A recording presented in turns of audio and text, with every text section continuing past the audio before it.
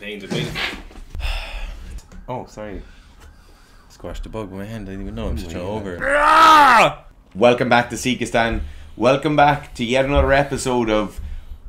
We asked you to ask us questions. Then, in the answering of that question, somebody else asked the question in a video. Well, this wasn't. This was someone making. This might have been a general No, video. this is someone making an archy comment. Actually, it wasn't. Will you read out an archy comment there if you have it? So, an Arky comment. Will I name him? Will I name Aiden Davis? Well, Anyway, I see what you did there. so now you got me. WF, WTF, does gear have to do with pulling with a rounded back? That's just stupid. I think he means what the fuck does gear have to do with pulling with a rounded back? So this was on the Russian Dream Team video where we were. It's called the Russian Weightlifting Dream Team. So it was on a video where one of the Russian weightlifters, uh, I cannot remember his name. I'm gonna say Max Maxiv something, Rijat maybe. I don't know. He um he was pulling with an uber rounded back. So literally like almost kyphosis in the mid and upper back in the pull of the snatch. And we said something along the lines of, "Oh, that's uh, a classic symptom of gear. Something you can do when you take a lot of gear. You can kind of get away with this." So there's a couple of different reasons. So sometimes when athletes take gear, and it's something we've talked about before in our weightlifting commentaries, you know, we've talked about people's weightlifting technique. Most people appreciate what we're talking about. Sometimes people say, yeah, well, you're not even snatching 180 and stuff like that. But you know, when we're talking about their technique, we say oftentimes we see people lifting heavy weights in spite of and not because of. Sometimes we do see this.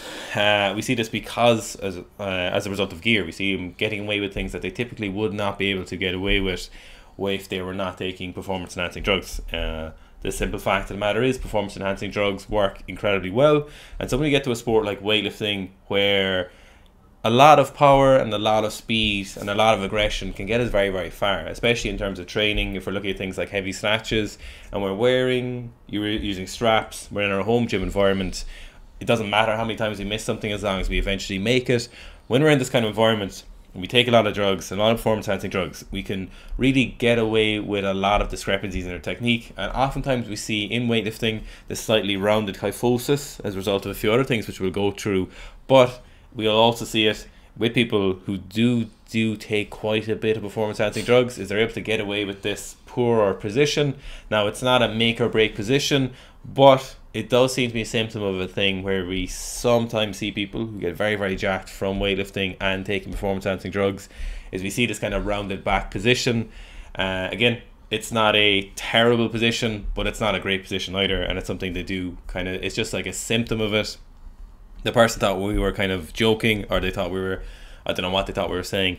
We were kind of saying it tongue in cheek, but we are also not joking as it is a thing that does appear sometimes.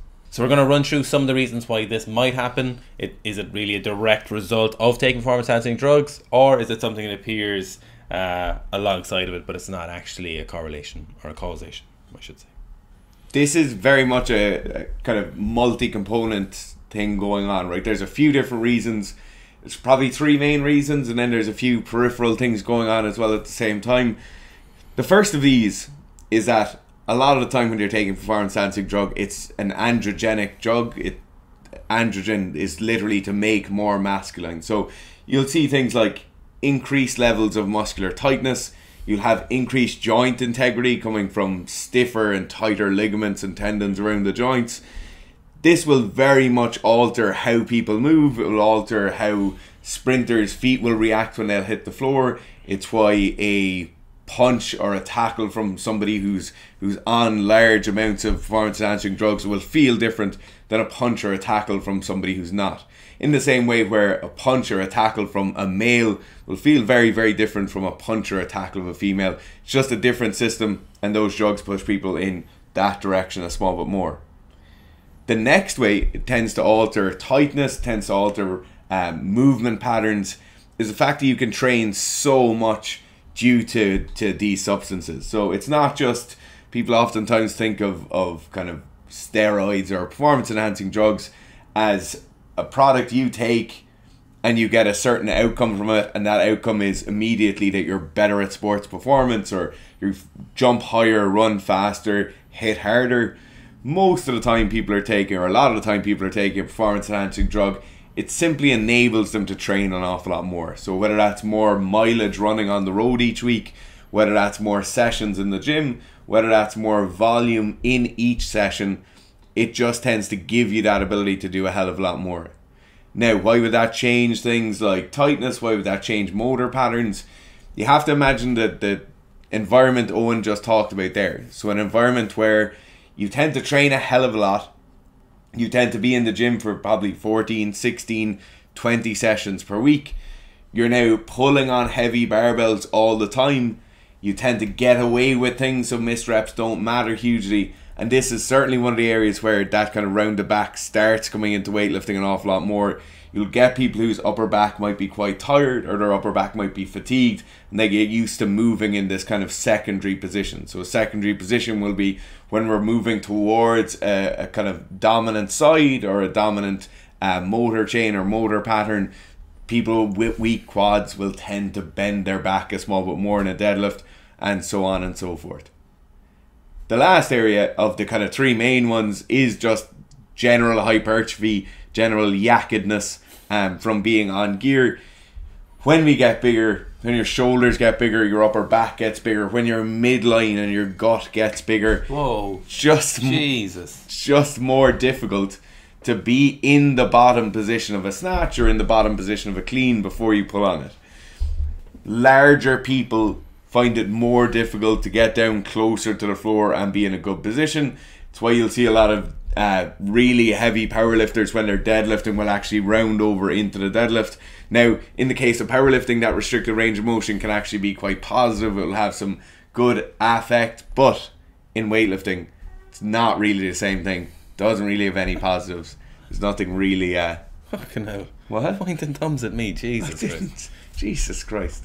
Uh, in weightlifting, it's not really uh, the same level of um, of advantage to have a restricted range of motion. So this is an exclusive to the upper back rounding portion. It, this could be any number of any athletic endeavor. So anything with poor motor patterns or poor positions, is that you can get away with things that may typically be more injury risk for the average person who's not on performance enhancing drugs. So we're not just talking about the mid back rounding here, but we could talk about different uh, different positions in any number of sports the fact of the matter is, if you do use a lot of performance enhancing drugs, your joints, ligaments, and muscles can recover a lot faster than the average person, or they can also take higher levels of forces or take more egregious poor motor patterns for longer and thus they can recover a little bit faster and deal with these poor positions for a longer period of time before you might see someone get injured. So if the same person did the same amount of volume with the same poor or less high quality positions in any number of sports, specifically weightlifting, uh, we'd see that person who's not on performance enhancing drugs likely get injured before that person who is on performance enhancing drugs. So this rounding back position might be exposing something, might be exposing uh, maybe your uh, rhomboids. For anyone who's torn a rhomboid, you know it's incredibly painful. I've torn both when a within a two month period of each other. And I can honestly say it was one of the most painful injuries I've gotten. So if you're in that poorly exposed position, um, if they're elongated in that position, maybe your rectus spinae, rhomboids, lower traps, something like that is exposed to higher number of repetitions, especially in weightlifting, something highly dynamic. You're not on performance enhancing drugs then the likelihood is that they will get injured a little bit sooner and so will give you this kind of self-corrected okay i need to strengthen my upper back I need to correct these positions. I need to put them in a better position, thus to avoid getting these injuries in the future. Whereas if we're using a lot of performance enhancing drugs, uh, you kind of you, you may never even enter this thought process. So maybe something you never think about. You know, you can't rehab or prehab every single muscle and joint and movement in your body before every session.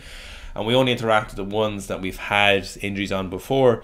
And so in these scenarios, if we do use a lot of performance enhancing drugs, for example, the Russian lifter in this case may have never had an issue with his upper back, or if he did, it may be something that hurt for like one or two days a week, and then due to a variety of different PEDs, it may not have hurt. It may have been perfect the next day, so it may have never been an issue for him throughout most of his career. As the likelihood in a state-sponsored doping, for example, it was likely very early on he began using performance enhancing drugs. It was never something that kind of entered those realms, and so if you are using a lot of performance enhancing drugs, PEDs these kind of poor positions will not be something you'll become aware of because it's just so much less likely for you to get injured on, in those positions or it's something that's so far down the line that it will take years before it's even an issue for you. It may happen eventually, but in a lot of circumstances, it may not. the last point then, and this is kind of probably more in the general sense than rather with this specific group of, of Russian lifters, is the rate of progression, obviously, when you're enhanced, is so much faster than when you're not. The thing you, you probably have to consider with the, the national team, kind of, or the international caliber athlete, is that rate of progression still affects them. So that rate of progression isn't now necessarily about learning the snatch or learning the clean and jerk, but now it's about getting back in shape. And just the speed people get back in shape with tends to be so, so fast. So you're talking about going from a 190 kilo snatch down to when they're in their off season, probably a 120 or a 130 kilo snatch, then going back up and getting to probably 170 or 175 kilos in the snatch within the first six to 15 weeks of training, like very, very restricted time scales. And that is one of the areas where these kind of poor motor patterns get snuck back in.